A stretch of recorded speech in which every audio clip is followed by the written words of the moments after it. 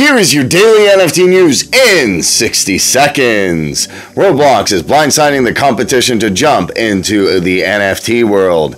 Yes, Roblox is going Web3 with some items that resemble NFTs. The Japanese messaging company Line is opening its own NFT marketplace. It'll be strictly customer to customer going through their NFT arm Line Next.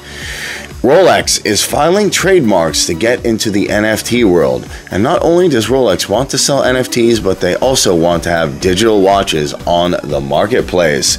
Will Rolex jump into the metaverse? And last but not least, Meta formerly known as Facebook, is still doubling down on the metaverse despite its failure. 36 billion, 11,000 employees later, will they make it? To read more about any of these stories, go to nftplazas.com.